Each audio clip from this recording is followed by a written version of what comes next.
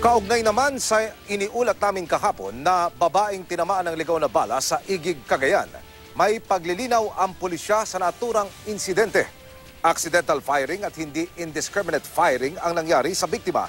Yan po'y ayon sa Igig Police. Ang balang tumama sa biktimang si Kathleen Lawigan ay galing daw sa baril ng kanyang mister. Nililinis noon ng mister ang baril pero nang ilapag sa lamesa ang baril, bigla umano itong pumutok. Sa hita tinamaan si Lawigan at didala sa pagamutan. Sumuko naman sa ospital, o sumuko naman sa pulisya ang mister. Dahil diyan sinabi ng Cagayan Police na walang insidente ng ligaw na bala at indiscriminate firing sa kanilang lugar sa pagsalubong po sa bagong taon.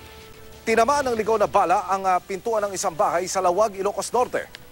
Sumuko naman na ang barangay Kagawad na nagpaputok ng baril.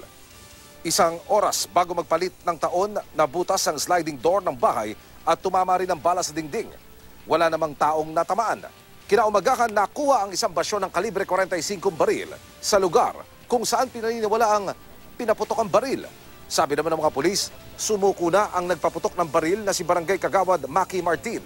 Isinuko rin daw niya ang ginamit na baril na wala palang lisensya.